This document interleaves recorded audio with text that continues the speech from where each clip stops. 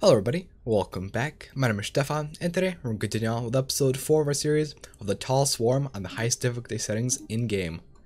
This is what we're playing on, Grand Admiral, no scaling, all advanced AI starts, so let's resume with our save, shall we? Alrighty, we are back to our empire, and now we're left with the task of further fortifying our borders and developing our economy. Nothing much is expected to happen in the first 50 years, uh, we'll just continue expanding our economy and uh, getting more tech production up and running. At this point, we are uh, equivalent to most empires in terms of technology, some are inferior, uh, but that is not the case for most empires, and that is because of the difficulty settings. Uh, normally, if you had 700 plus research at year 2250, uh, you will be mostly superior or overwhelming to other empires. However, this is not the case for our empire, and we'll have to wait a solid 50 years before that could be the case. And so, without further ado, let's resume, shall we?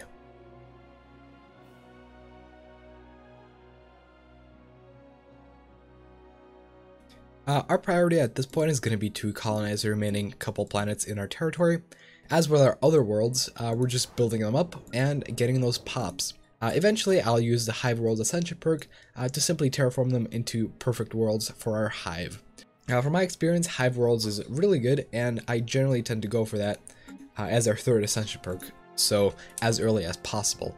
And that is because it allows us to get more resource production going on in our planets, since we can specialize certain planets into purely mining worlds or purely agriculture worlds, while at this point we're sometimes relegated to balancing between all of them due to a lack of planetary slots for those districts. And so getting Hive Worlds is going to be a massive boost to our specialization efforts, and specialization is always good in this update because you get more planetary bonuses applied to your production, and it's quite nice. To prepare to terraform all our worlds into Hive Worlds, we're going to want to start increasing our energy credit production as well, because every one of those Hive Worlds cost 10,000 energy, and unless you have a good resource output that you can sell off or get just pure energy production, uh, it's quite hard to afford those right away.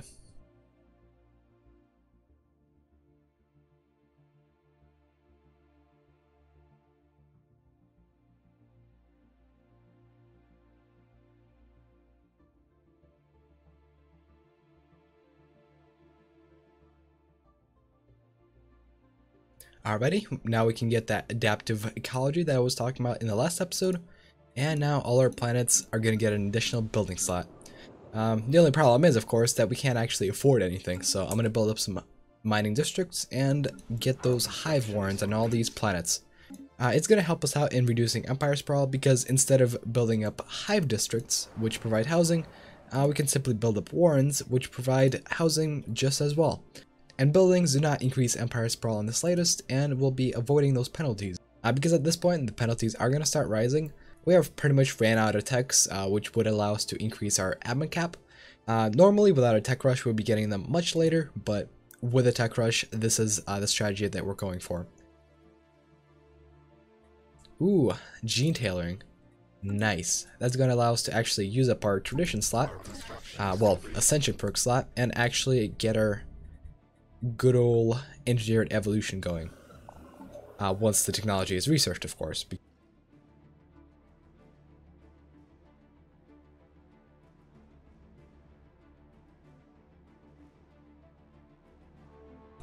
One thing that is actually protecting us quite nicely is the fact that our only neighbors that can potentially attack are currently at war with another empire, and so we don't have to worry about that. AI does not like engaging in uh, two wars on two different fronts, and that is just perfect for our cause.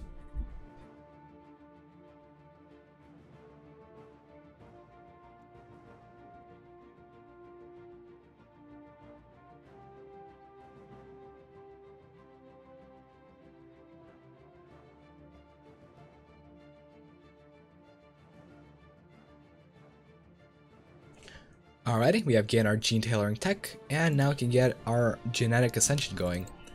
And now we can go ahead and modify our species. Uh, we're actually going to make two subspecies. We're going to create uh, the research spooter. That is going to be geared towards research production, as you may have guessed. And they're going to get the intelligent trait, as well as some extra engineering research. Uh, engineering is going to be quite important for securing the mega engineering technology later on. we're not going to be forcing this technology to spawn using the Master Builder's trait, and so getting more engineering production is going to be quite nice for us because it's going to mean that we have a higher chance of actually getting it in the near future. So let's create this template and then also create the template for the rest of our species. Uh, these pops are going to be agrarian, that is because food production is the highest among our empire at 430 points rather than uh, 300 which is the nearest with energy. And these guys are also going to be nomadic uh, because, well, immigration affects these boys and getting more immigration growth from our spooters is going to be a priority. We're going to apply the research spooter over to our main planets, which is going to be Perthoria and Cytine, uh, and we'll modify the species otherwise uh, with the rest of our colonies. Eventually, all our planets will probably have tech labs on them. However, those worlds will only have it as a secondary objective, and getting more research production is going to be their primary objective. Uh, of course, we can also potentially just start resettling pops to meet the Empire's needs. Uh, the pops with their extra research modifiers will automatically be prioritized for the brain drones jobs. Uh, however, this does require quite a bit of micromanagement, and uh, I'll only do that in the later game, uh, where it's actually worth it to spend all that energy that we don't currently have. Uh, we're also going to enable migration controls on our species, and that'll prevent the two subspecies from actually migrating between the worlds. This does not provide any migration as far as immigration and emigration is concerned. Uh, it works just in the same way whether the species is restricted or not, uh, but it prevents intermixing of species from different planets and is quite nice. Uh, otherwise, the pops will simply take turns growing on the planet, and you'll get a 50-50 of the pops, uh, which is certainly not what we want.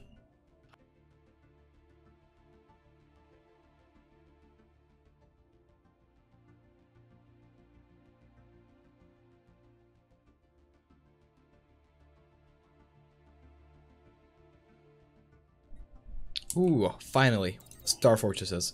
Uh, this can be vital to our Imperial defense, and that is because once we get Star Fortresses up and running on both our borders, uh, it's going to mean that we're pretty much invincible to any sort of attack up until year 2300, at which point we're going to just upgrade them to Citadels and be fine regardless. Uh, this is very important, and it's really going to allow us to just internally develop and just chill for a very long period of time.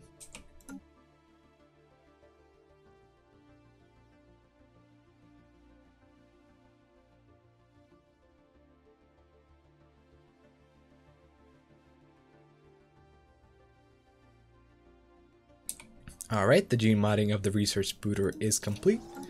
And now we can start the gene modding of the rest of our species to be the pleb booter. Let's do that.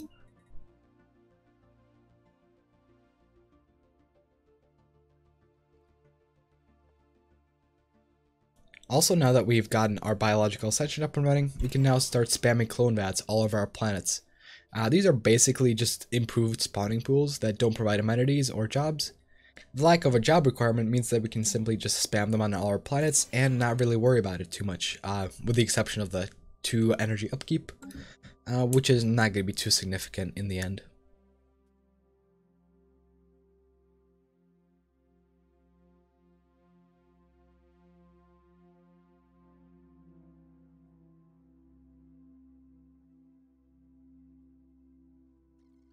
Also, we have now managed to colonize all the planets within our borders. Uh, we've managed to get 14 planets within our small little chunk of territory. And we'd managed to obtain way more planets than we normally would have because the tomb worlds provided by the Kettlings. Uh, very nice of them to do so for the swarm. Uh, but even with six planets, this sort of strategy does work out. I have tested it before. And we'll probably end up doing this again on my own sometime, uh, because this is quite fun actually. Uh, the research swarm is just so broken this patch that, you know, it's insane. I would even venture out to say that this is the most broken build in 2.2, period.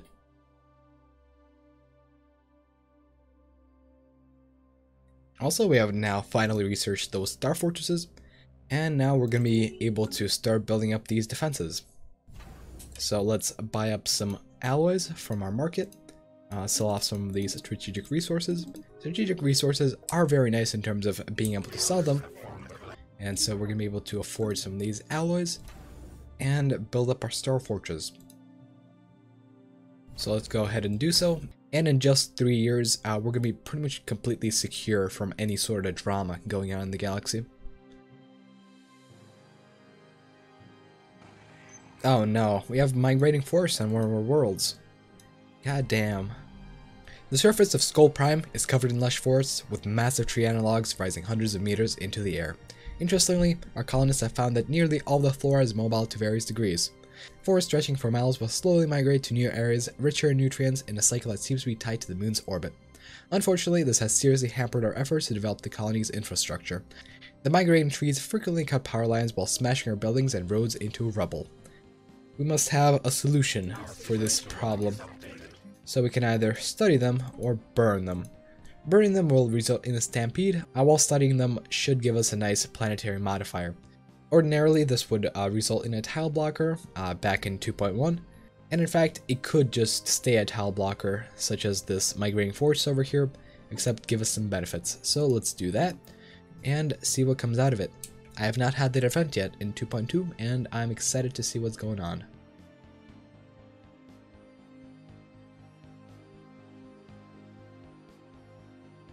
And now the species modification for the plebspooters is complete and our species lives in harmony and peace. Perfect.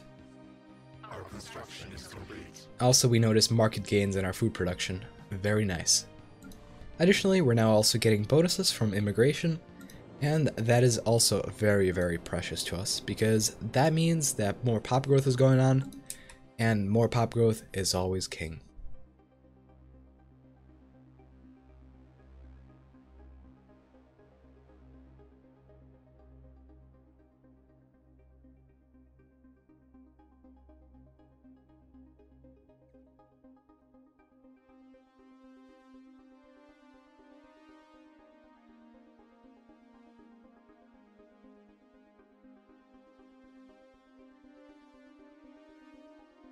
Already, we have completed our project to study these migrating forests. Perfect. We've learned that the roaming forests on Skull Prime avoid certain regions that are home to colonies of a native pseudo-insect. These insects secrete a pheromone that can be used to steer the wandering forests away from the population centers. Furthermore, the areas where the forests most frequently range have been closed off as nature reserves. Our biologists can learn much by studying this reserve from the neighboring regions. Excellent. Let's see what this adds to the planet. Oh, very nice. Uh, this is not even a tile blocker. It simply provides us extra society research and more brain drone jobs. Nice.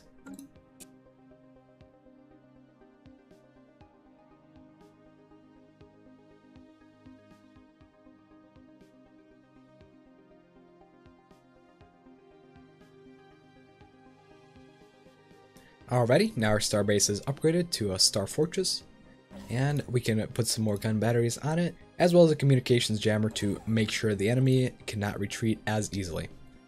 Uh, at this point, we're pretty secure. Uh, the 6k fleet power will increase to about 7 once we're done upgrading it, and is going to mean that any enemy fleet that comes at it will probably be destroyed very soon. At this point in the game, the AI will not have fleets sufficient enough to actually destroy the station, and so will retreat or not even attack.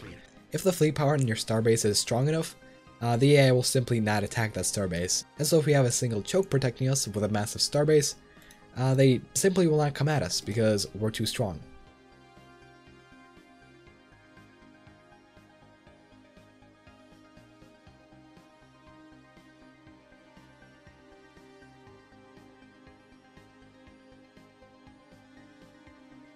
Alright, we're getting a glimpse of the enemy fleet at this point, and while this is just one of the many battered fleets of the enemy, it's 1.6k fleet power, the enemy probably has multiple of those, and so that probably amounts to roughly 6k. However, the enemy does not like attacking with combined fleets because uh, whatever reason, and so our station will easily be able to take out any sort of attempt uh, by this empire to annihilate us. And with this new gun battery coming up very soon, uh, we'll be able to see how powerful this starbase will be. 7k. Perfect. No worries. We're pretty safe for now. And uh, eventually we're going to get citadels, and that's going to just be the cherry on top. Uh, with citadels, we're going to be able to get like 34k fleet power. And with 34k fleet power, nothing will be able to stand uh, the assault of the starbase. At this point, we're going to be pretty safe for the time being, and so the next couple decades will be quite relaxed, a calm before the storm, uh, before we start taking over all our neighbors and hopefully the whole galaxy. And so with that, thanks everyone for watching. If you enjoyed what you saw, please leave a like. and subscribe if you want to see more. I have a Discord and a Patreon, links are in the description, and of course, I'll see you guys in the next one. Bye bye.